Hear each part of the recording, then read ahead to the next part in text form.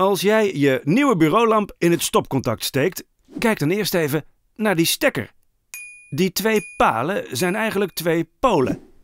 De kabel van het lampje bestaat uit twee stroomdraden. Elektriciteit gaat van de ene pool door de draad heen, door het lampje, door de draad terug naar de andere pool. En hierdoor gaat het lampje branden. Maar als er een muis aan de kabel heeft geknabbeld en de twee draden raken elkaar, dan kan er kortsluiting ontstaan. Stroom zoekt altijd de weg van de minste weerstand en hij gaat liever door de draad dan door het lampje. Maar dan kan hij zijn energie niet kwijt.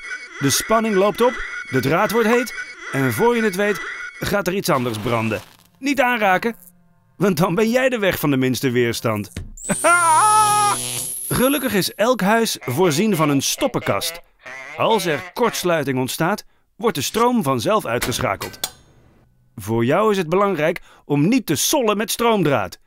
Leg geen snoeren onder het tapijt en trek nooit aan de kabel, maar altijd netjes aan de stekker zelf. En houd je aan de gebruiksaanwijzing. Die kan je lezen als je het lampje aanzet.